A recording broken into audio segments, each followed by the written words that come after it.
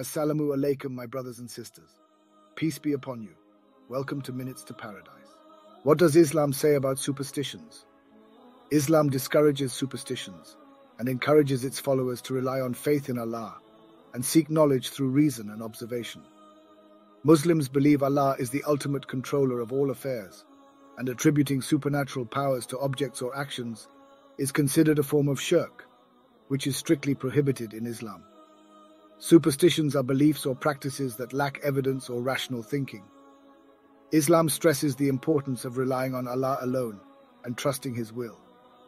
Muslims are encouraged to seek protection and blessings through supplication to Allah and following the guidance of the Quran and the teachings of Prophet Muhammad, peace be upon him.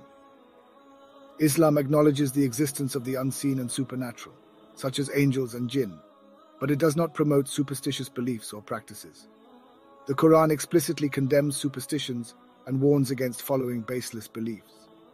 In Islam, seeking protection from harm or evil is encouraged through prayer recitation of specific verses from the Quran, and the remembrance of Allah. Muslims are advised to put their trust in Allah and not attribute power or influence to objects or actions that have no basis in Islamic teachings.